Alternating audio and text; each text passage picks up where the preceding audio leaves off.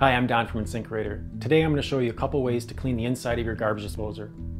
Disposers don't require any maintenance, but occasionally you can do some cleaning on it if you want, just to minimize any odors that might be happening. Sometimes uh, a little buildup of food can get there and also in the throat of the disposer. I would just rinse this baffle off. What I also like to do is take some paper towel and just get inside right underneath the lip and just wipe off the underside.